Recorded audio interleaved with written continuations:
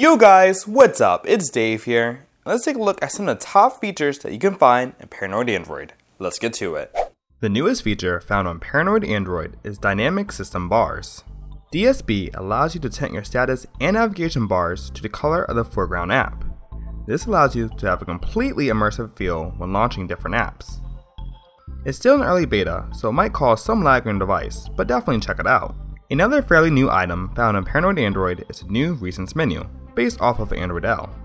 The PA team has miraculously managed to create their own version of the sliding actions card that was previewed in the Android L developer preview. I'm a huge fan of the new Recents. It's modern, quick, and clean. A little confusing at first, but in time you easily get used to it. There are still a few bugs to be worked out, but for the most part, it's stable enough to use. The third signature feature of Paranoid Android is Hover. Hover allows you to open notifications in a small standalone window. This works regardless of where you're at in your phone. Watching videos or playing games, all a click away. I don't really use Peek so often, but it's a nice thing to have. Peek is sort of like the active notifications found on a Moto X.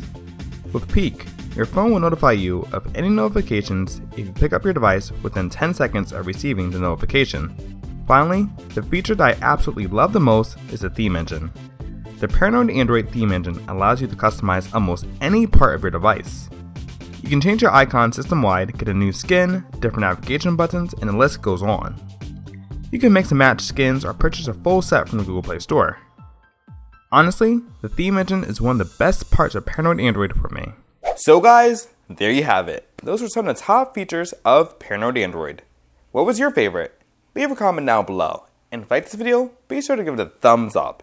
And as always, thanks for watching and stay tuned for another galvanizing video. Thanks.